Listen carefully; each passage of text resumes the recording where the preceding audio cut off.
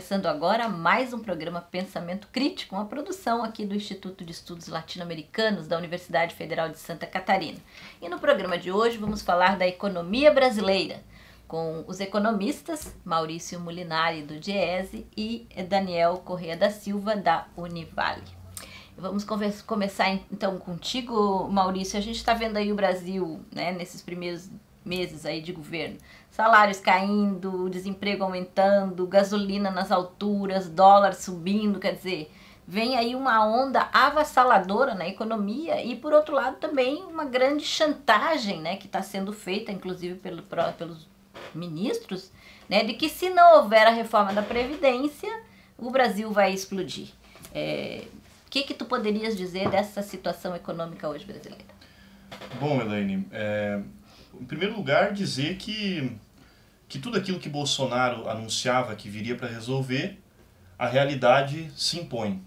E, e um mito cai diante da realidade, como todo mito. Então, o que estamos, estamos vivendo nesse primeiro, nesse avançado final, do, já, já entrando no, no segundo trimestre do ano, é que todos os, os motivos essenciais que levaram o voto em Bolsonaro, o voto que queria mudar tudo que estava ali, não se resolve. O desemprego não se resolve, a violência urbana não se resolve, só se agrava e os casos que vão se somando vão mostrando isso. E os escândalos de corrupção continuam também é, a revelia, né? Não há nenhuma mudança nesse sentido. Por que não há nenhuma mudança nesse sentido? Porque o que o que está tá, tá colocado é uma deterioração violenta da economia brasileira, e, da, e dos condicionantes que, que sustentariam um, um chamado pacto social, que seriam emprego, salário, crédito, todos esses condicionantes que durante o, período petista ocultaram um fato essencial, é, desabaram. A partir de 2015, tudo isso desabou. A crise se acelera, são seis anos de crise já, a economia brasileira está em crise há seis anos. Isso se reflete nas taxas de desemprego elevadíssimas que permanecem se reflete na queda da, da massa salarial que é violenta, no endividamento que se consolida em inadimplência e, e, e estrangula a capacidade dos trabalhadores consumirem, se reflete numa América Latina que também teve uma, uma virada com, a, com, o desastre das políticas ultraliberais de, de Macri na Argentina, por exemplo, que derrubaram a produção de veículos automotores no Brasil nesse primeiro trimestre, isso, isso é, é, tá muito claro. A produção de veículos, de, de carros, de automóveis, motocicletas no Brasil despencou por conta dos efeitos do ajuste ultraliberal de Macri na Argentina, porque a Argentina é um grande importador desses produtos brasileiros.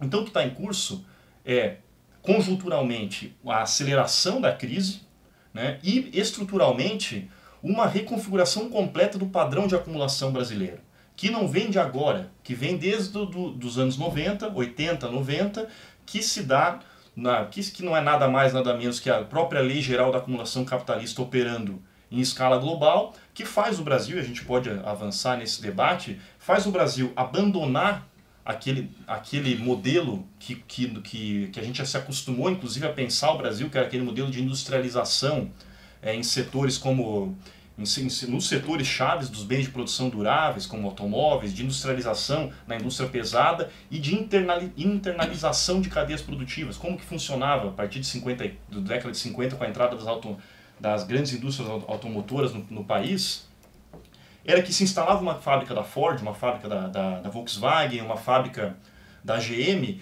e se internalizava no país toda uma cadeia de insumos industriais, indústria de autopeça, indústria de pneus, indústria uhum. de, de, componentes elétricos, tudo isso. Com a entrada da China com violência na, na, divisão internacional do trabalho a partir dos anos 70 e 80, isso acabou. O Brasil, a, o grande, a grande dita desindustrialização não é uma desindustrialização no sentido que o Brasil está perdendo indústria, é que há uma especialização produtiva.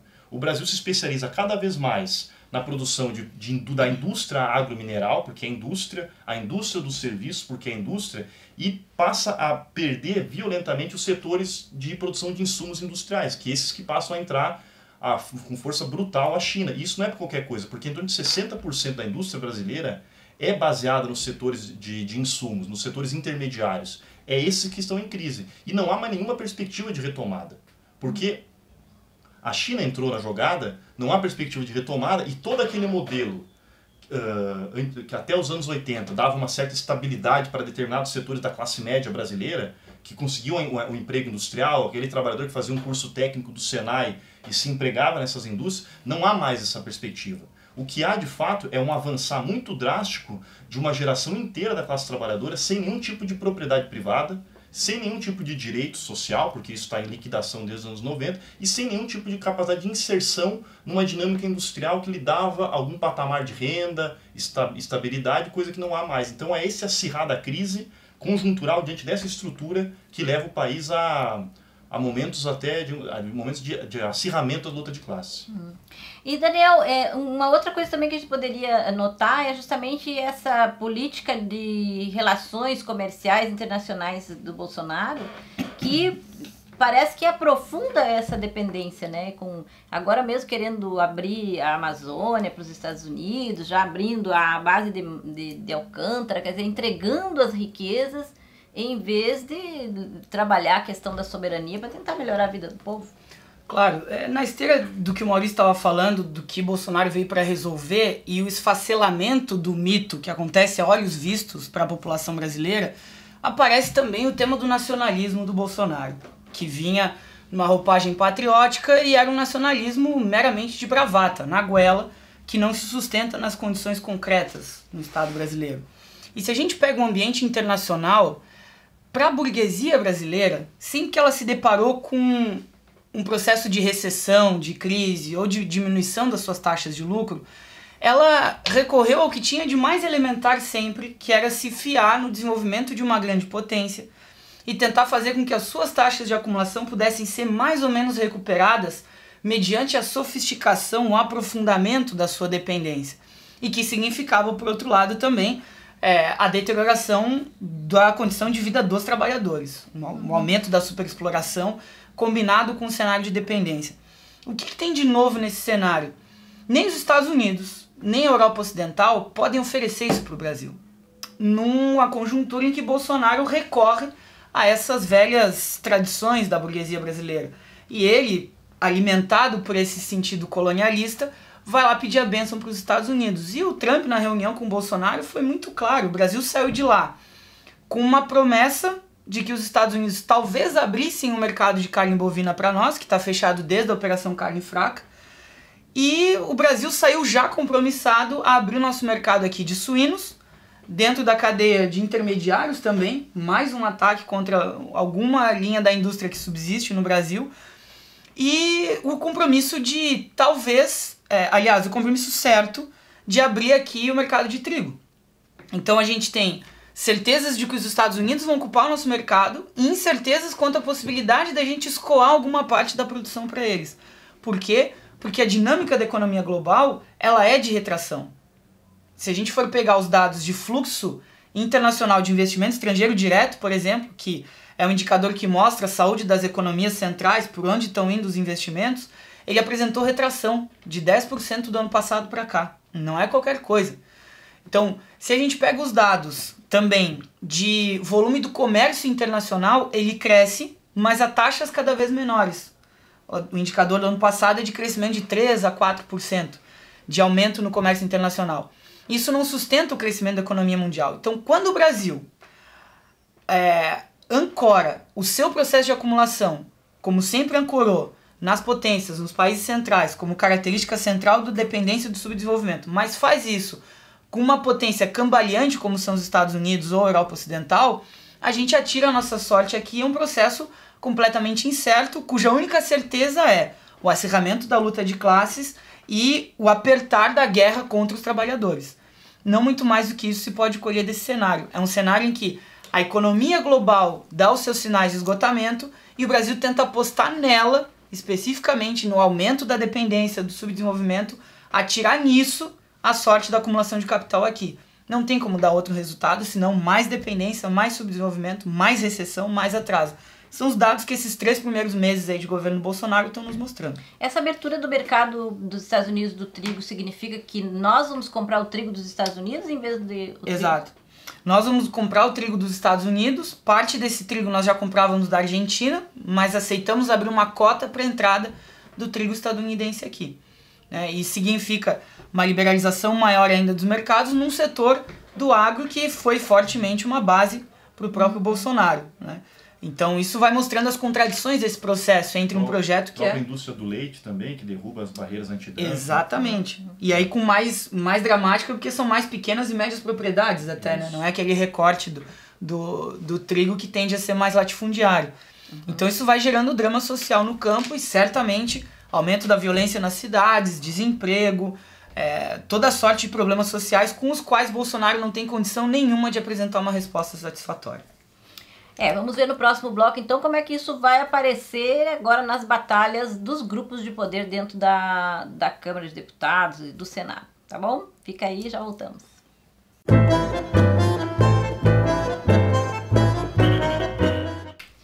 Voltamos com o nosso programa Pensamento Crítico, uma produção aqui do Instituto de Estudos Latino-Americanos e hoje falando sobre a economia brasileira.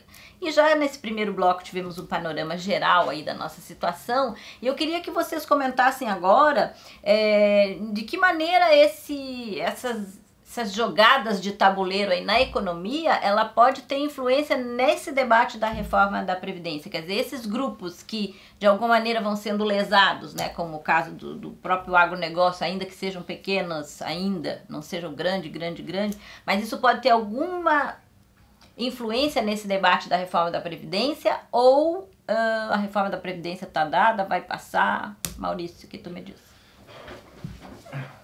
A gente não pode é, nos iludirmos com as contradições, com as supostas brigas dentro do parlamento.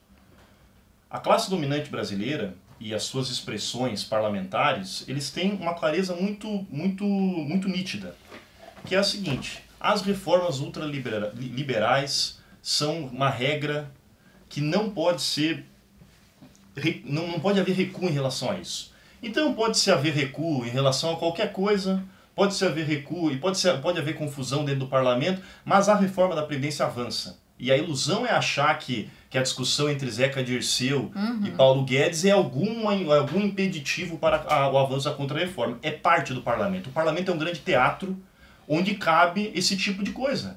Cabe acusações, cabe dedo na cara, cabe inclusive uma, uma, uma porrada ou outra. Cabe obstruir pauta. Cabe obstruir pauta, isso é do jogo parlamentar, mas o, o que move a vida não é o parlamento. O que move a vida são as forças essenciais que se consolidam na base econômica, na base material da sociedade. E na base econômica, base material da sociedade, há uma convicção da classe dominante que é necessário aprovar a contra-reforma da Previdência para manter intocado o sistema da dívida pública. O sistema da dívida pública e para jogar uma parcela imensa desse recurso previdenciário público para a mão dos bancos privados. Então essa convicção é que move o governo de Bolsonaro. E não é uma convicção diferente do que moveu todos os outros governos todos os últimos governos, desde o do Plano Real, basicamente, mas antes mesmo, todos eles atuaram, desde 64, todos os governos atuam a favor da classe dominante. O que muda é, de fato, a disposição dessa classe dominante. Uma coisa era a classe dominante é, assentada sobre o desenvolvimento industrial, ao, dito autônomo, até a década de 80 e 90, outra coisa é essa classe dominante, decadente, sem nenhum tipo de, de capacidade de competir no mercado internacional, essa burguesia totalmente ineficaz, que precisa assaltar o fundo público, assaltar o Estado brasileiro para se manter vivo, porque não tem rentabilidade na produção industrial real, na, na, principalmente no, nesse setor intermediário, então eles precisam assaltar o Estado. Então é essa lógica que comanda o Estado brasileiro, é a lógica das classes dominantes. E as classes dominantes acharam, nessa trupe de Bolsonaro, a sua expressão mais legítima. O que é Luciano Hang, se não uma expressão mais bem acabada do que é a classe dominante brasileira? Quais são seus valores? Ela tem tara pelos Estados Unidos, ela adora a estátua da liberdade. Essa é a classe dominante. E ainda é um sonegador, né? E é um sonegador de imposto, porque vive de assaltar o Estado. Assalta na sonegação, assalta na dívida pública, assalta nas desonerações, que do período de governo Dilma até o primeiro ano de governo Temer foram um trilhão de reais em desonerações para os grandes multinacionais brasileiros, que, com, que fez, que construiu o Luciano Hang. Da onde veio o Luciano Hang se não da farra das desonerações e da, e da sonegação fiscal? Esse que agora se diz antipetista, mas cresceu, mamou no petismo, na política econômica do petismo. Entende? Então esse, esse, aí que está a origem dessa, dessa grande onda que vem por aí. Mas na essência, o parlamento, as coisas estão dadas no parlamento. Se avança a reforma da Previdência, assim que, se, assim que a reforma da Previdência se resolver, né, nesse, na, no atual formato ou em outro formato, eu acredito que vai avançar. Por conta, e por conta de quê? Por conta de que se a classe dominante sabe muito bem o que, que é, que é amplificar o assalto ao Estado brasileiro, amplificar a exploração da força de trabalho da classe trabalhadora no, no, no Brasil, a classe trabalhadora está desorientada. Esse é o ponto essencial. Por que, que, há, por que, que os, a, os setores da classe dominante se permitem abrigar entre si? Há um, um Dallagnol e Sérgio Moro de um lado, o Gato Angorá né, de outro lado, preso lá no Rio de Janeiro. Por que, que há essa possibilidade deles brigarem entre si? Porque a classe trabalhadora, os de baixo, não ameaçam a classe dominante. Não ameaçam porque estão desorientados. Porque continuam as suas, as suas direções, e não a classe trabalhadora, as suas direções continuam acreditando na pauta democrática. Democracia como valor universal continuam acreditando na institucionalidade burguesa. E a maior expressão disso é Lula, que preso já há um ano, continua acreditando na justiça burguesa. Uhum. E está preso pelas suas ilusões.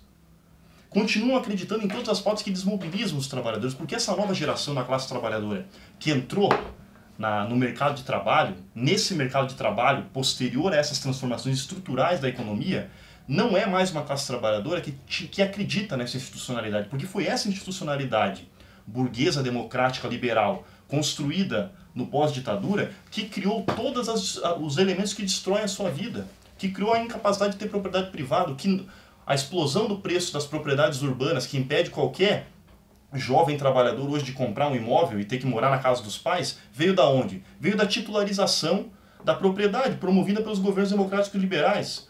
O que, por que, que não tem emprego? Quem comprou? Qual foram os governos que conduziram a reestruturação produtiva? que destruíram as capacidades de, empre de empregabilidade mais elementares. Os governos, FHC, Lula, Dilma, todos eles.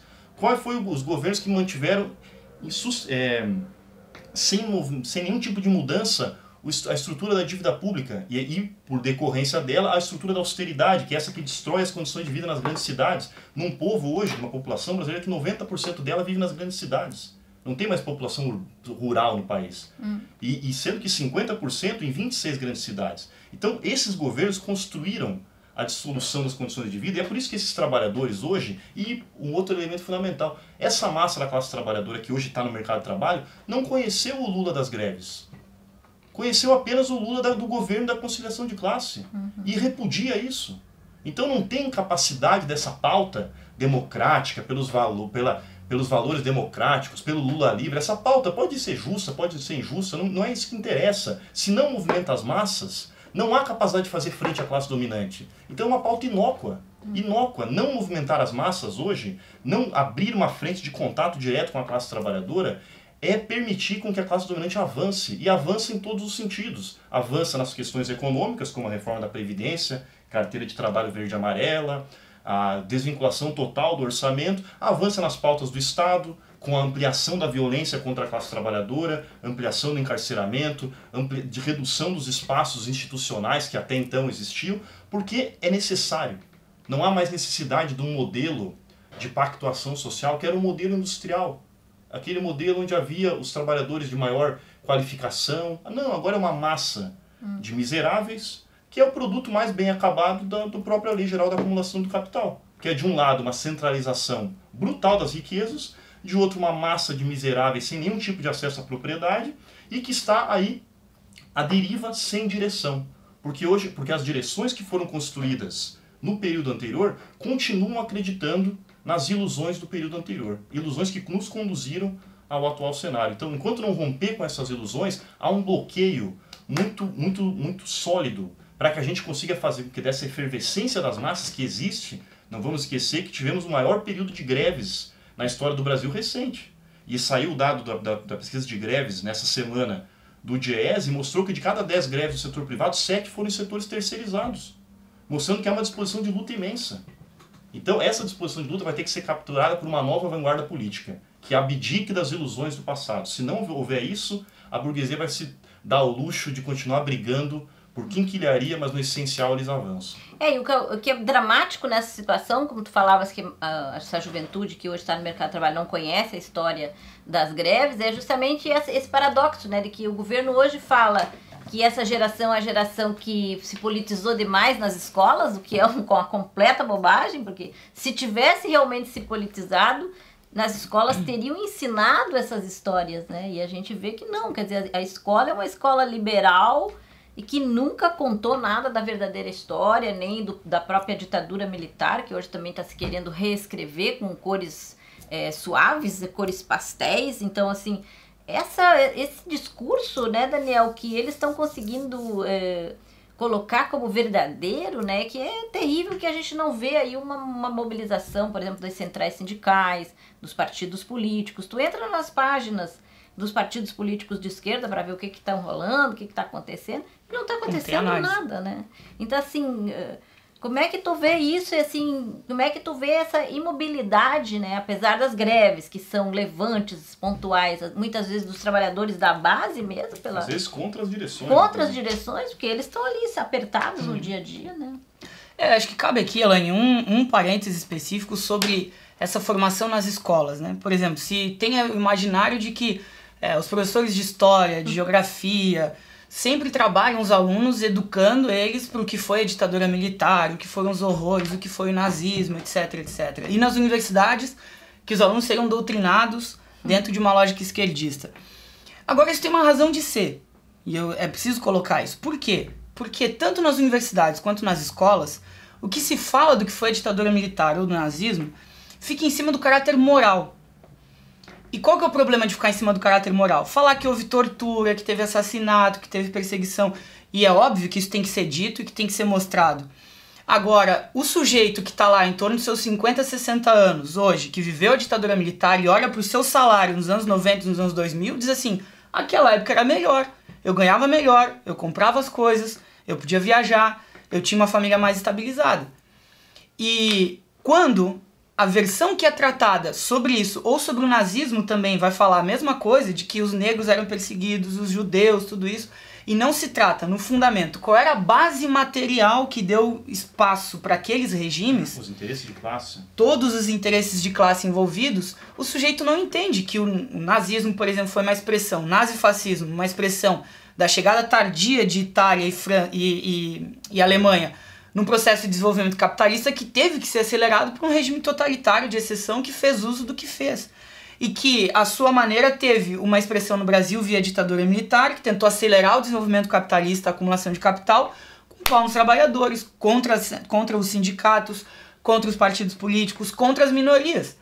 Mas aí se, vai se falar, bom, a ditadura militar assassinou muitos índios. É verdade. Ah, é porque eles não gostam dos povos indígenas? Não, é porque o índio estava na terra. Hum. E a expansão precisava da terra. O problema. Isso o povo... Mariátegui já dizia. O problema do índio é o problema da terra, não é outro é a ocupação do espaço da propriedade. É, e aí que eu estava falando do nazismo, também é importante quando a gente fala do nazismo, de lembrar que muitos dos judeus que eles mandaram para a Câmara de Gaza eram os que detinham a grana, né? Que eles Bom. pegaram a grana, pegaram as obras de arte, pegaram toda a riqueza. Quer dizer, claro. tá, a, a, ligação com a economia é crucial. Tinha uma razão material para esse ataque, né? E uma razão de classe que orientava isso. Se não, quando fica nesse terreno mais moral das perseguições, qual é o contra-argumento? Bom, o socialismo matou milhões de pessoas também. Fidel perseguia o, as mulheres e, os, e o, as povos LGBT no início da Revolução Cubana. E aí um rebaixamento absoluto do debate que não nos faz acumular nada para a interpretação do que está acontecendo agora, no momento real, que é o que a gente precisa. Então precisa qualificar esse debate, senão a gente vai ficar rodando em círculos e um dizendo que o nazismo é bom, o outro dizendo que o nazismo foi ruim. De esquerda. Ou que foi de esquerda, ou que não foi, e aí se perde o debate. E a mesma coisa por quem fica turvado aqui no comportamento do parlamento. Né? É, o Carl Schmitt ele costumava fazer, na crise da democracia parlamentar, quando ele escreveu no início dos anos 20, o Carl Schmitt diz assim, o parlamento ele é esse simulacro, teatro aqui como o Maurício colocou, que numa analogia ele parece aquele é, aquecedor elétrico que tem a imagem do foguinho na tela, fingindo que está saindo calor daquele foguinho, mas na verdade o calor é da tomada é para turvar a imagem, percebe? É esse o esquema. E o parlamento faz isso. E se as centrais sindicais, se os movimentos populares se orientam por isso que está acontecendo no parlamento, não vai entendendo que todas as brigas, todas as confusões que aconteceram recentemente na Comissão de Constituição e Justiça, por exemplo, para fazer avançar a reforma da Previdência, não atrasaram em um único dia o processo de votação. Um único. O relatório foi apresentado ontem, vai para votação provavelmente na semana que vem e depois já vai para o plenário e a coisa anda. E o assalto ao Estado, que o Maurício narrou aqui muito bem, vai acontecer em cima do regime principal, que é o da capitalização. Esse é o central. Se for para negociar o benefício de prestação continuada, se for para tratar, tratar do benefício às mulheres grávidas, alguma uma ou outro, um ou outro ajuste mais pontual, isso pode ser feito. Hum. Agora o central, que é a capitalização, que é o assalto específico e a transferência desse fundo de salários, porque é isso que a previdência é, um fundo de salários dos trabalhadores na mão do setor privado, para que eles façam a gestão disso, para que eles acumulem capital com o nosso recurso, isso é que está sendo dado, isso é que tem que ser discutido. E aí a gente tem que tratar isso dentro de, um, de uma perspectiva de classe. Não dá para tratar isso dentro dessa perspectiva moral. Senão a, a visão da, da conjuntura, a análise da conjuntura vira um somatório de fatos. De lacração de Facebook e Instagram. É, o problema Exatamente. é que a batalha está no Facebook, né? A gente não vê a batalha na rua. Leva-se isso para as redes. Então, aí vai ser a lacração. É tchutchuca aqui, é o outro que é o tigrão lá, etc, etc. Enquanto isso, o que, que o Paulo Guedes fala? Olha, eu vou atacar o sistema S. Por quê? Implicitamente ele já tem dito. Nós temos um regime que desmonta boa parte do aparato, do aparato industrial brasileiro que foi constituído entre os anos 30 e 80 por que investir na formação via, por exemplo, Senai? É, Senai, Para que fazer aprendizagem industrial com um filho do trabalhador industrial que não vai para a indústria? Exato. Não tem razão de ser. Então, se a gente não interpreta isso, fica com a visão turvada. Não dá para se iludir com o parlamento, a luta tem que ser concreta. O que, que geralmente se faz? Os partidos políticos da ordem, os, os movimentos sindicais, todos eles estão presos num esquema de fazer a coalizão de forças. Aí o que, que o, o movimento agora do último 7 de abril para as manifestações sobre um ano da prisão do Lula mostraram? Não tinha juventude. Pouca gente e não tem juventude, porque a juventude tem esse perfil que o Maurício colocou aqui. A juventude não viu o Lula guerrido, a juventude viu o Lula de terno e gravata, orgulhoso porque o Obama disse que ele era o cara. É essa juventude, é, é esse Lula que a juventude conhece, não é outro. Ok, a gente termina esse bloco e já voltamos. Segura aí.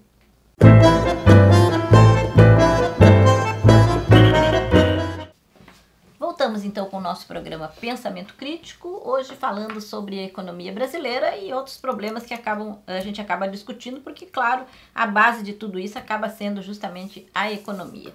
E um dos, dos uh, temas que eu queria tratar com vocês, agora essa semana mesmo a gente viu aí a, a, a crise no Rio de Janeiro com as enchentes, né, que foi um horror e, e assim a completa ausência do Estado, né, da, da prefeitura, é um troço assim que a gente não consegue entender como é que um camarada que é prefeito não consegue gerir uma situação dessas, que é uma situação que deveria ser comum, porque chuvas e enxurradas acontecem a todo momento. É, queria que vocês falassem um pouco sobre isso, assim, que a população votou nesse novo, né? A gente está vendo lá em Minas Gerais também, agora o próprio uh, governador de Minas Gerais do Partido Novo, acabou de, de terminar com a Rádio Independência, que em Confidência, que era uma rádio, rádio mais antiga lá, né, de 80 e poucos anos, F, é, AM, que tinha alcance estadual, quer dizer, eles vão acabando com as coisas e ao mesmo tempo não dão conta de gerir a vida cotidiana, né? Vocês acham que isso vai tocar nas pessoas? Porque o que eu tenho percebido nesses fóruns das redes sociais é que a, os votantes né, dessas pessoas continuam tocados. Bom, Elaine, aí tem, tem uma questão que é a seguinte: o sistema político brasileiro ainda está esgotado. As eleições de 2016 para prefeito ou de 2018 para governadores e, e presidência não deram conta de reconstituir os problemas do sistema político brasileiro, que segue se alimentando dos mesmos vícios de sempre. Claro, diante da crise do sistema político, tentou-se fazer uma renovação dessa classe política, da elite da classe política. Agora, se essa mesma classe política vai se deparar com a estrutura que existe, ela não, ela não vem para destruir essa estrutura, ela vem para tentar pactuar o molde dessa estrutura como ela está dada. Abre-se um espaço para que a estrutura seja tocada. Se ela vai ser tocada ou não, a gente vai ter que ver, são as contradições do, da história que vão nos mostrar. Mas aí, é, por exemplo, o caso do Crivella e a iminência do impeachment dele fazem parte do esgotamento do sistema político mas que, no final das contas, para o estado do Rio de Janeiro, também é uma expressão da crise social e da crise econômica, que coloca o estado sob uma condição de praticamente ingovernabilidade. Quando esse cenário se apresenta, qual é a saída que a classe dominante tem? É continuar e acentuar o extermínio à juventude pobre e negra, por exemplo, é continuar tendo todos os, os elementos que não dão assistência para as comunidades mais carentes, é continuar tendo um, um, um, um cenário de desmonte, mas o que eu quero sublinhar aqui é isso. É uma continuação radicalizada de movimentos que já aconteciam. Por exemplo, se Romeu Zema, por um lado, é, extingue em Minas Gerais a Rádio Confidência, Fernando Pimentel veio por anos destruindo a máquina pública do, do estado de Minas Gerais. Inclusive deixando os trabalhadores sem salário, né? Salário. Exatamente. Camilo Santana também faz a mesma coisa no, no, no governo do estado. É, na Bahia a gente tem isso acontecendo, no Ceará, no Rio Grande do Norte, em todos esses estados, sob comando do petismo e não desses novos governadores, é, esse, esse cenário continuou. Então isso faz parte da crise do sistema político. O que está em jogo agora? Bom, é ver se Dória, por exemplo, dando seus passos mais à direita e querendo se cacifar ainda mais para ser sucessor de Bolsonaro, se ele consegue ter uma gestão da crise dentro do estado de São Paulo que possa apresentar uma resposta. Eu aqui, munido do, dos indicadores do que a gente tem do funcionamento da economia brasileira, não tem espaço para nenhuma recuperação material. Agora, por outro lado, tem espaço para apertar ainda mais o torinquete da guerra de classes. Então Dória vai atacar, sem dúvida, como já está atacando o serviço público estadual, já teve greve de professores em São Paulo. Aqui em Santa Catarina já se fala da possibilidade de não pagar os salários a partir da metade do ano, e isso já aperta contra o funcionalismo público da mesma maneira e vai se criando um ambiente institucional para que todos esses ataques possam ser feitos. Então, diante da falência do sistema político, tal como ela está dada, a gente tem alguns gestores tensionando um pouco mais, porque veem que ou tensionam ou não sobrevivem. O Crivella, por exemplo, nesse cenário de ostracismo no qual ele estava, ele só teve que aparecer porque a chuva fez ele pular para fora da, do, de casa para poder dar entrevista, porque ele tinha que aparecer minimamente. Mas era um sujeito que estava oculto, esquecido dentro do Rio de Janeiro. Mas seguem operando a política, esse é o fundamental. Seguem operando dentro da mesma lógica. A atenção está posta. Pode ter mudança? Pode. A classe dominante vai é, ser possível de apresentar essas mudanças? É o que a gente tem que ver. Não está dado ainda se essa mudança radical pode ser dada ou não. Mas condições para mudanças extremas estão sendo todas colocadas. Então é isso que a gente tem que centrar a análise agora, a é, partir de agora. Quem acompanha, por exemplo, a, a, a, mídia comercial, vê o seguinte, o Estado brasileiro está quebrado, é, não tem dinheiro, mas assim, ninguém explica o que, que é esse quebrado, para onde é que te, da onde é que vai essa, esse dinheiro, quer dizer, tu que tem esse trabalho aí com a dívida, né, que, é importante explicar isso, né, que não é que o Estado está quebrado, é que tem um bolo de dinheiro que vai todo mês para fora. Claro.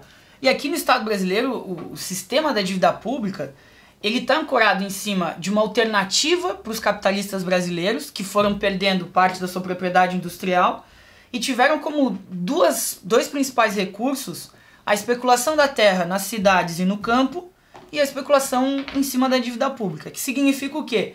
Emprestar dinheiro para o Estado. Só que quando a gente pensa nisso, não dá para pensar que o emprestar dinheiro ao Estado funciona na mesma lógica como eu empresto dinheiro para um amigo meu. Funciona numa lógica muito distinta. Teu amigo não paga, né? Exatamente, mas eu perdoo, né? E aí, não todos, mas eu perdoo alguns. O Estado paga. E o Estado paga. E o Estado paga religiosamente porque toma esse pagamento como prioritário. E aí a questão é, dentro do que se chamam é, do esquema da dívida pública, o processo de acumulação de capital que ele apresenta, no início do plano real, o Brasil tinha uma dívida pública de 64 bilhões de reais. Em 2002, essa dívida estava em 700 bilhões de reais. Em 2010, 1 trilhão e meio. E em 2018, no final do ano, 5 trilhões de reais. 5 trilhões. Então, significa uma multiplicação extraordinária da dívida pública brasileira, mas não porque o Estado gastou mal os seus recursos indefinidamente, porque fez alguns investimentos que não valiam a pena. Não se trata disso. Ou porque gastou demais com deputados e senadores. Isso, no total do orçamento, é quem criaria. Tem que ser alterado por uma questão moral, mas é quem criaria, não é o que representa o grosso do orçamento brasileiro. Então são pelo menos 3 bilhões de reais todos os dias gastos com a dívida pública federal. Isso significa que se a gente tem um horizonte de orçamento da saúde, por exemplo, que é de 130 bilhões de reais, em, é, em aproximadamente aí 40 dias, a gente tem o esgotamento do orçamento da saúde via dívida pública. Não é qualquer coisa isso. Então, quando isso se torna o centro da acumulação de capital, a gente tem outros dados mostrando, por exemplo, concluo essa parte aqui com isso, as chamadas operações compromissadas do governo federal. O que, que são essas operações compromissadas do governo federal para quem está nos acompanhando aqui? O Estado pega uma quantidade de títulos da sua dívida, emite esses títulos, vende no mercado com a promessa de que vai recomprá-los a um valor mais alto, com juros extraordinários. Se hoje, por exemplo, a taxa de juros no Brasil está em 6,5%, que é a taxa Selic, a média de recompra desses títulos paga 10%. No ano passado, a inflação estava em 13,75%. Isso significa 6,25% de ganho real para os capitalistas que especulam com a dívida pública brasileira. Se isso não for levado em consideração, mediante uma auditoria, uma investigação dessas contas da dívida pública, para a gente saber efetivamente quanto se deve, para quem se deve, e poder usar isso como instrumento político de começar a discutir o orçamento brasileiro, todo esse tralalá de quebradeira aí é. não pode nos convencer. A gente tem que estar consciente desse, dessa questão. Disputar o tema da dívida pública que está na mão dos capitalistas. O assalto ao Estado que eles fazem tá ali. É, essa lógica aí de compra e, e recompra dos títulos tinha que ser muito bem explicada para a população, porque as pessoas não entendem essa lógica. E é quase como que uma agiotagem ao revés, né? Quer dizer, o agiota é, é o governo, porque na verdade ele pega o nosso dinheiro para dar para os capitalistas. Então, mas as pessoas precisam compreender isso, né? Que esse problema da dívida não é uma questão que está lá longe, ela está aqui no nosso cotidiano, né, Maurício? Elaine, sabe o que, que a população entende muito bem? Que a vida tá uma merda. Ela entende muito bem isso. E por isso que ela botou para correr a elite política anterior. Porque a, quem construiu a, a, miserável vida da classe trabalhadora brasileira foram os partidos da ordem. E vamos recordar o que é o partido da ordem, nos termos marxistas, marxianos, lá quando Marx escreve sobre o processo revolucionário francês. Partidos da ordem são aqueles que administram os negócios do capital. E tanto tucanos quanto petistas administraram os negócios do capital. E os negócios do capital, que envolvem a dívida pública, mas envolvem desonerações, envolvem manter a classe trabalhadora sob controle, os negócios do capital conduziram a classe trabalhadora para o cenário em que se encontra, de seis anos de crise. Seis anos de crise, onde na crise, se durante o período de acumulação de capital, de expansão da acumulação, ao trabalhador ainda é reservado a condição é, maravilhosa de poder ser explorado, na crise entra o desemprego, entra o aumento da rotatividade no mercado de trabalho, entra a queda dos salários, tudo isso se agrava, piora. Nem mais como, como indivíduos trabalhadores as pessoas conseguem se reproduzir. Então as pessoas sabem muito bem que a vida está um horror. E por isso que elas jogaram na lata do lixo a elite política anterior. É óbvio que os resquícios continuam. O processo não é um processo, Marx ia dizer, superação, não é uma coisa de jogar o passado para trás, é porque o passado nunca, nunca vai lá para trás. O passado uhum. sempre permanece. Há algo de conservação nisso tudo. Mas esses novos políticos, nessa onda da novidade, baseado em duas coisas, empoderados e empreendedores, porque esse é, o, é, a, é a nova onda do capital, que é o que? Uma afirmação do indivíduo. Do indivíduo e não a afirmação da organização da classe, a organização revolucionária. O indivíduo, aquele que se empodera subjetivamente ou que empreende também com uma ideia subjetiva. E na prática, sabe o que, que deu toda essa ideologia construída nos últimos anos?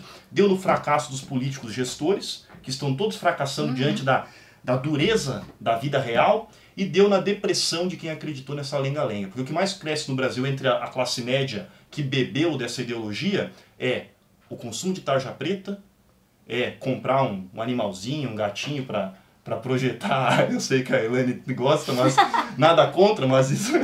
Eu nunca comprei um bichinho. Mas é, mas é uma carência afetiva gigantesca, porque a minha subjetividade só se realiza no, na objetividade. Isso o Marx já deixou muito claro. Então essa ideia de eu me, me auto afirmar como uma, uma ideia, isso só gera frustração, angústia, sofrimento, e é isso que está colocado. Então fracassou essa ideia. Essa ideia desses modernos que vieram para substituir a velha elite econômica, e isso é muito interessante do ponto de muito interessante não, mas é muito é muito profícuo do ponto de vista da luta de classes. Por quê? Esses que disseram que vinham como os novos, seja pelo lado da violência, da, da, da, da violência mais brutal como Bolsonaro, da escrotização da política, seja pelo lado da, dos modernos, como o governador de Minas Gerais, Romeu Zema, todos eles estão fracassando. Diante do quê? Diante de uma mudança brutal no padrão de acumulação de capital no Brasil, diante de uma crise que não se resolve, diante de uma economia mundial que não consegue dar uma saída e que vai permanecer. Então o Brasil permanece em suspenso. Então, e eu relembro aqui a choradeira que foi posterior à eleição de Bolsonaro. Os setores de esquerda, os mesmos que agora botam fotinha no Facebook para lacrar no Facebook e capitalizar em cima da falência dessa turma, porque não querem superar a sua política, querem continuar no mesmo espaço. Se o parlamento é um teatro onde a classe dominante joga, a, a classe, os, os represent, ditos representantes da, representantes da classe trabalhadora estão gostando de jogar no Facebook. Né? E, e na lacração e tudo mais, essa porcaria aí que não serve para nada, para a gente politizar a classe trabalhadora. Mas a classe trabalhadora está em suspenso, é isso que eu queria dizer. A, a saída que a classe dominante deu não está colando, não está dando liga, porque não tem como resolver. Então o processo permanece, por isso que a gente vive uma época revolucionária onde nem os de cima conseguem viver tal como viviam e precisam fazer uma guerra de classe permanente, e nem os de baixo mais conseguem sobreviver tal como viviam, porque tem uma reestruturação total do padrão de vida, desemprego lá no alto, tudo isso, a miséria das condições de vida. Isso é uma época revolucionária. Então a gente tem que colocar a nossa a proposta da revolução brasileira de novo nisso, porque senão, porque nesse processo que não se resolve, que se agudiza a luta de classe, que amplia a degeneração das condições de vida, a direita não vai ficar no moderninho a direita vai avançar. A direita vai avançar por uma saída de caráter contra-revolucionário. Mais dia menos dia, mais ano menos ano, se a esquerda não se recolocar como uma força revolucionária que discuta essa.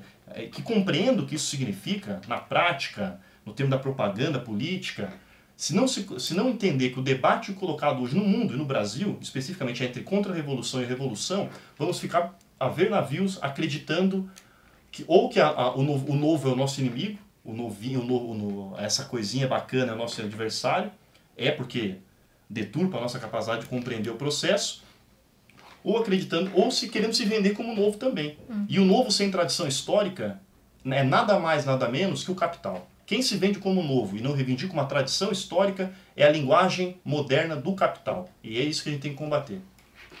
Isso aí, já voltamos. Segura aí.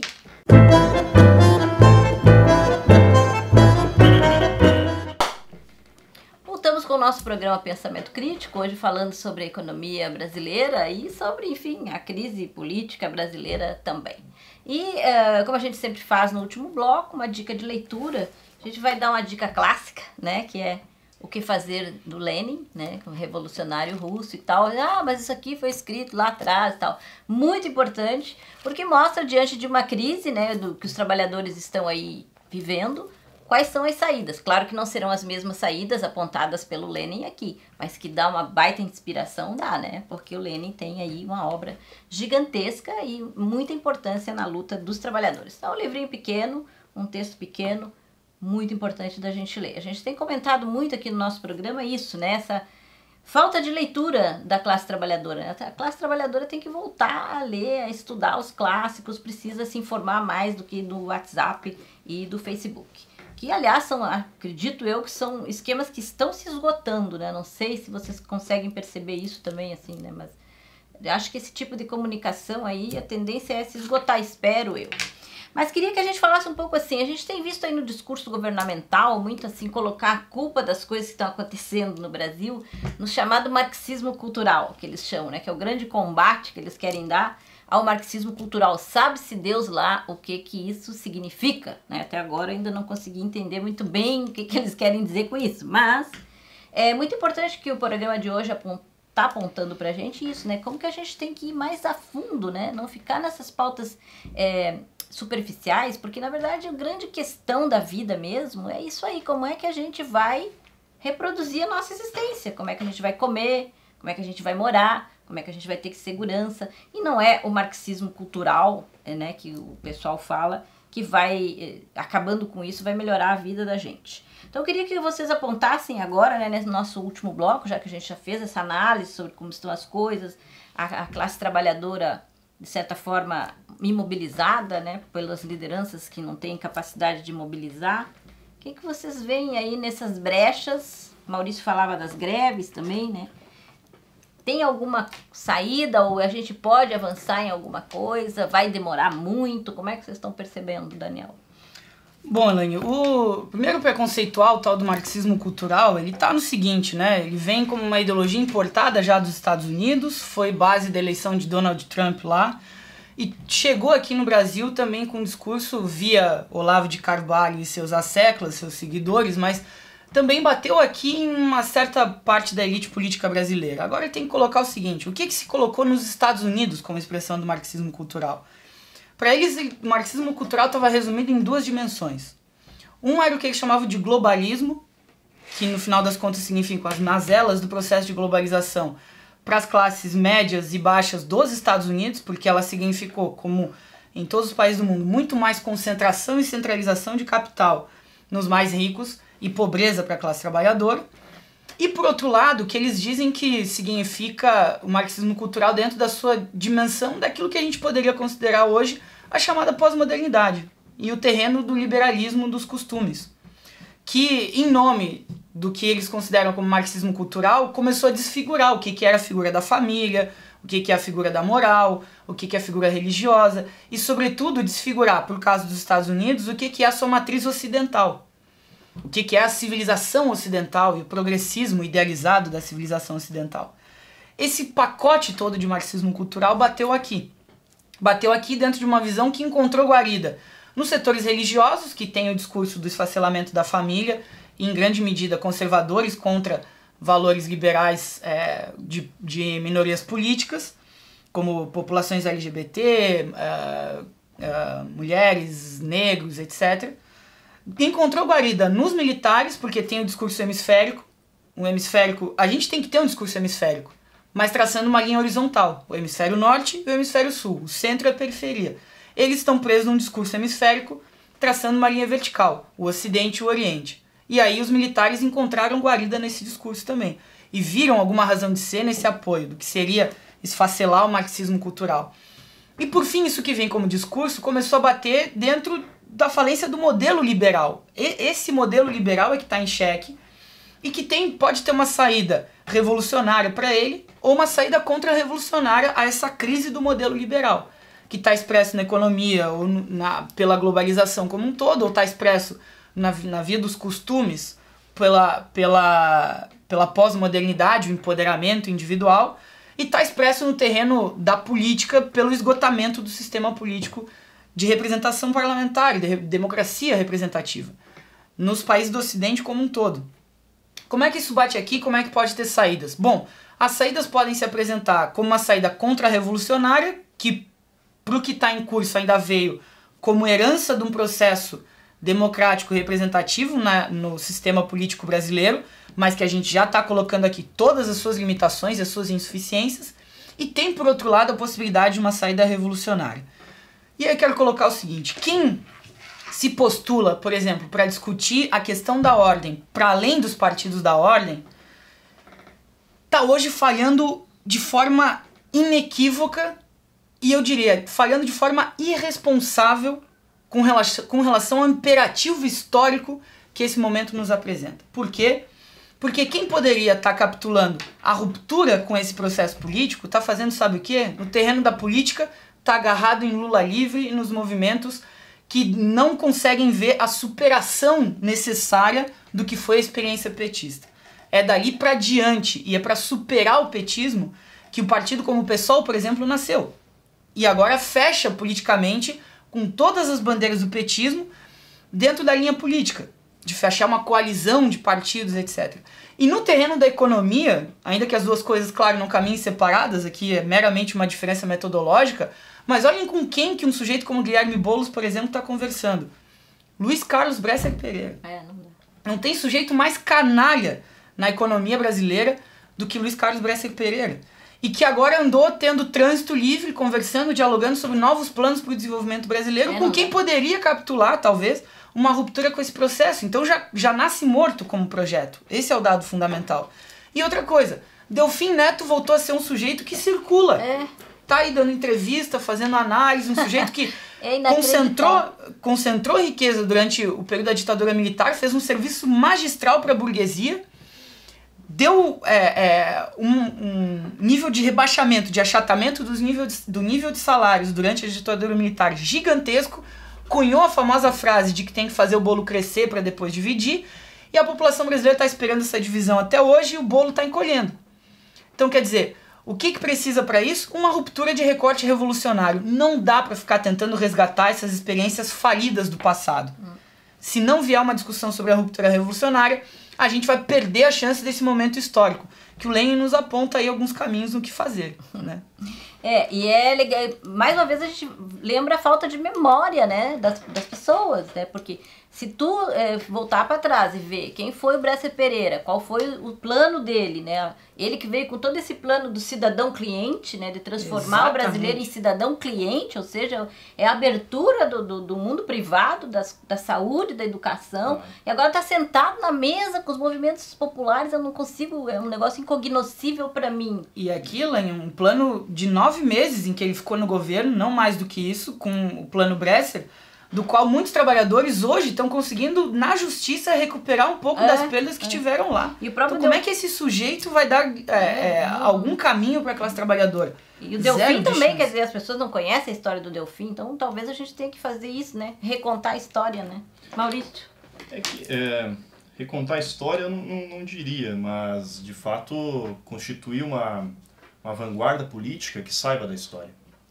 Porque o processo político não podemos ter ilusão achar que num país analfabeto, submetido à exploração brutal como o nosso, onde não há e nunca houve um processo massivo de, de educação naquilo que é essencial, não uma educação de, de memória, mas uma educação que dê, que dê instrumentos para o trabalhador, como por exemplo Fidel Castro fez em Cuba, é, erradicando o analfabetismo e no momento da erradicação do analfabetismo entregando Dom Quixote a obra de Cervantes para cada um dos, dos, dos, cubanos que passaram a ler, transformar... Ou o Chaves, né? Que ou o Chaves, também na mesma toada, mas coisa que não vimos nem de longe ser feita aqui em governos que eram ditos populares, não deram nem esse instrumento, instrumento da leitura. Tinha um desprezo pela teoria. Um desprezo pela teoria e tudo mais, né? E que continua um desprezo que continua se colocando numa ideia de que contra o vanguardismo, pé no barro e todas essas, essas quinquilharias que esquecem que a memória, ela é, ela não é por acaso que a, história é contada sempre por, por pessoas que pensam a história, que produzem a história.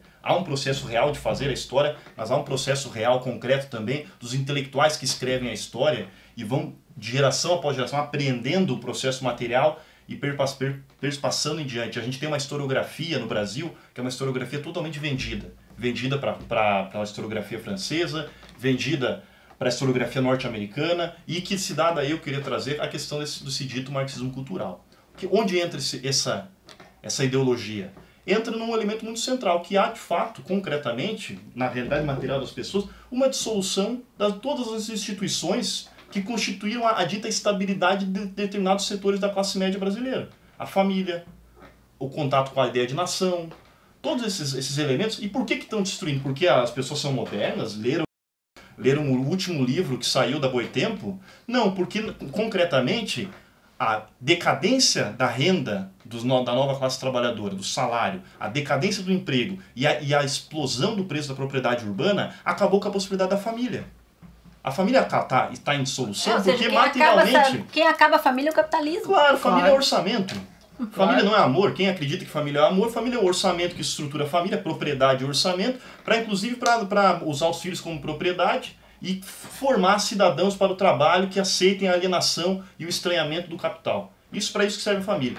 Diante desse, dessa dissolução da família pelo próprio processo da acumulação de capital, da próprio processo da lei geral da acumulação capitalista, obviamente que retornam ideias de um passado idealizado, romantizado. O romantismo não é por acaso que o romantismo está sempre presente. O passado romantizado, idealizado, ele retorna. E as pessoas acreditam que vamos reconstituir a família, mas isso está isso tá, tá acabado. O processo histórico já superou isso. Os resquícios continuam aí. A questão, o problema é qual, o que foi colocado no lugar. Aí eles acusam a esquerda de marxismo cultural. Foi colocado a ideia do indivíduo. Já que não há mais a família, a nação, as institu a classe, não há mais a classe, é todas essas instituições que nos davam um lugar. Então afirmamos o indivíduo. O indivíduo que se empodera, o indivíduo que empreende, o indivíduo que por si só num ato de vontade, num ato de autoconsciência, voltando até o idealismo já superado por Marx, num ato de autoconsciência, vai se colocar no mundo. Só que isso não dá conta. Isso não dá conta. Está jogando as pessoas num sofrimento, num drama total, porque o indivíduo, destituído de história, do contato com o gênero humano, do contato com a classe, ele é um indivíduo vazio. E vai do nada para o nada. E nesse contexto não há nenhuma possibilidade, as pessoas se desencantam, as pessoas entram em depressão.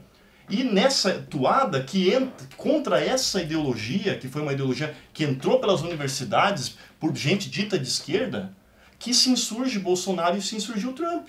E afirmando um passado idealizado, obviamente sem, sem capacidade de reconstituir isso, que vai dar com os burros na água logo na frente. Mas isso está em crise. Se não abandonar isso e retornar ao velho Lênin, que o velho Lênin falava da teoria da organização. Uhum. E o sujeito que não está organizado, o sujeito que não tem um, que não escolhe um lugar para se colocar no mundo, que não, não entende que ele é parte da história e não é um indivíduo isolado, que minha vida é algo mais especial do que toda a história da humanidade, que, e, e o pior de tudo é o lugar de fala, que a minha vida individual vale mais do que toda um, uma, uma, uma tradição histórica consolidada na teoria, consolidada nos livros.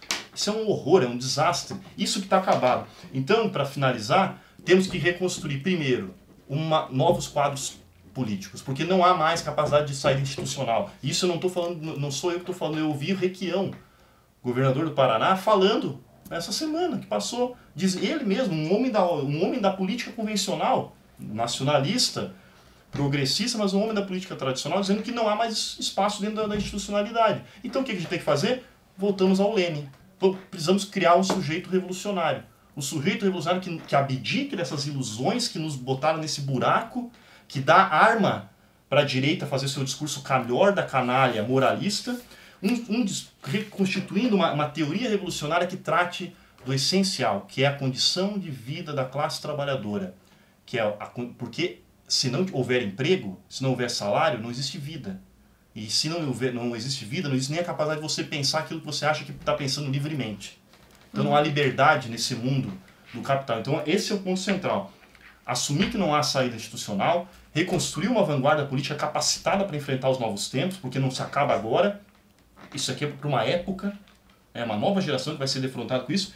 E entender o seguinte, que é da, é da realidade, a, a, a despeito do que queremos ou não, vai ser um processo natural, natural não, mas um processo histórico da realidade, explosões sociais que veremos muitas nos anos que virão, greves grandiosas que veremos muitas nos anos que virão e vamos ter que ter capacidade de compreender esse processo porque a história não está fechada, nunca esteve e nem estará, nem no comunismo ela estará. A história é a lei que nos nos coloca como eterno, em eterno movimento. É, não tem fim da história, né? E não é o medo também que deve nos imobilizar, né? A gente sabe que, inclusive, agora com essas novas medidas do governo aí, é, impedindo as greves ou botando freio nas greves, dizendo que vai cortar salário, ministro que já assume fazendo bravata, dizendo que quem não for é, governista vai ser demitido e tal. O medo, o medo é bom, mas ele é bom para mover, ele não é bom para imobilizar. Então a gente tem que ir com medo mesmo, tá bom?